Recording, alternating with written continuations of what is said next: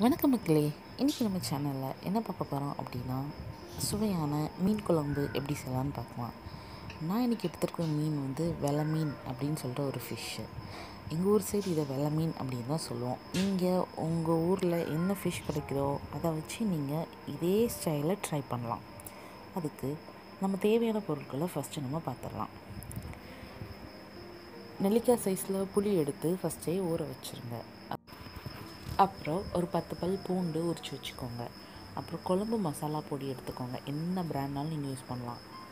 அப்புறம் உப்பு தேவையான அளவு மஞ்சள் பொடி வத்தப்பொடி மிளகா ரெண்டு மிளகா இப்படி பிச்சு எடுத்து வச்சுக்கோங்க. அப்புறம் நல்லெண்ணெய் யூஸ் பண்ணுங்கள் நல்லெண்ணெய் யூஸ் பண்ணால் குழம்பு டேஸ்ட்டாக இருக்கும்.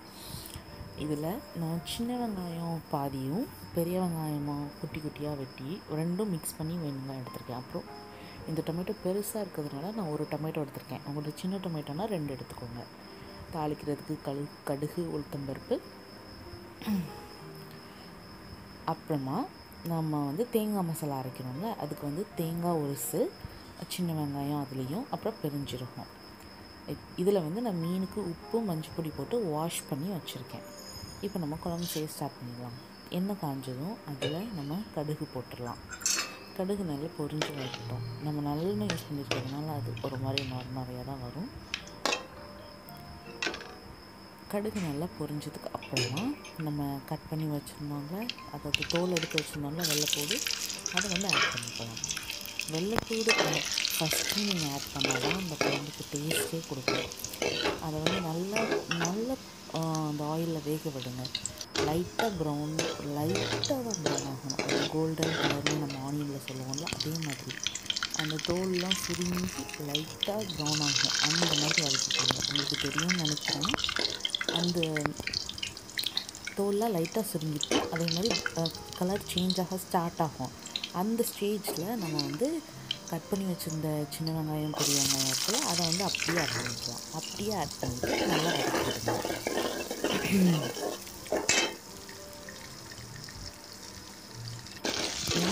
போட்டுட்டு நல்லா ஓரளவு வதங்கினதுக்கு அப்புறமா டொமேட்டோ வச்சுருந்தால அதை கட் பண்ணி போடாமல் அரைச்சி பேஸ்ட் ஆக்கி போடுங்க. அப்படின்னா தான் இந்த குழம்புக்கு டேஸ்ட் டிஃப்ரெண்ட்டாக இருக்கும். அதே மாதிரி குழம்புக்கு கொஞ்சம் கலரும் அது எக்ஸ்ட்ரா கொடுக்கும்.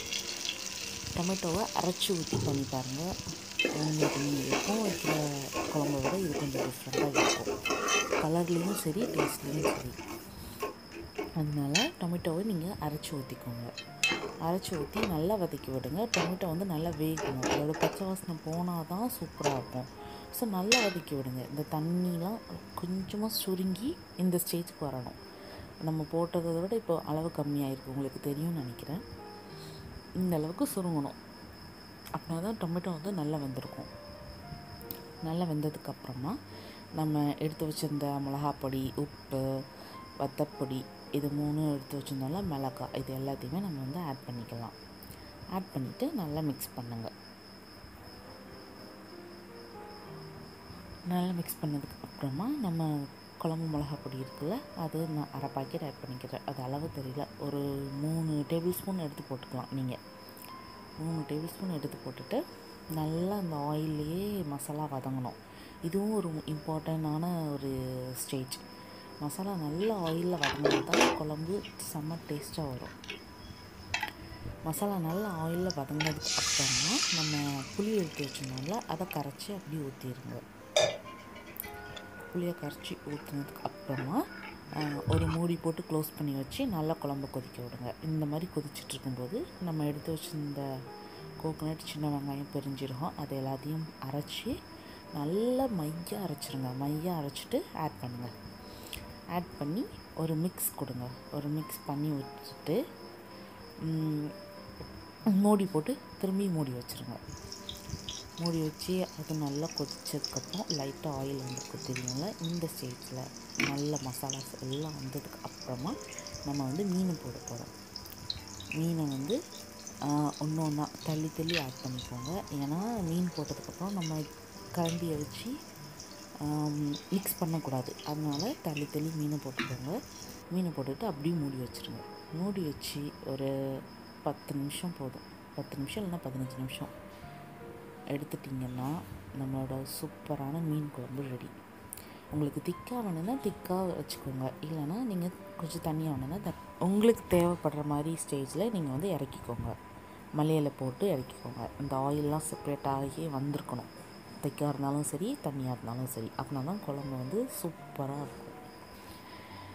இந்த மாதிரி மீன் குழம்பு ஒரு வாட்டி வச்சிங்கன்னா இனிமேல் நீங்கள் இந்த ஸ்டைலில் தான் வைப்பீங்க. அதை ஒரு ஒயிட் ரைஸ் கூட சைடில் பொரிச்சு மீன் வச்சுட்டு ஊற்றி சாப்பிட்டோம்னா அவ்வளோ அருமையாக இருக்கும்.